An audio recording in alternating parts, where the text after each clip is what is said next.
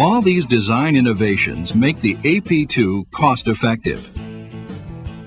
Punching is automatic, so labor costs are reduced. One operator is all that's required to monitor the automatic punching process. And because you can automatically punch various paper stocks whenever you need them, the AP2 eliminates the additional costs associated with pre-punched paper.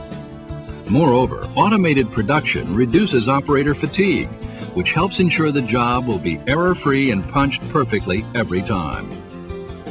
When service calls are required, the AP2's electronic diagnostic menu guides the GBC technical service representative to troubleshoot the system quickly, minimizing downtime and getting you back on track.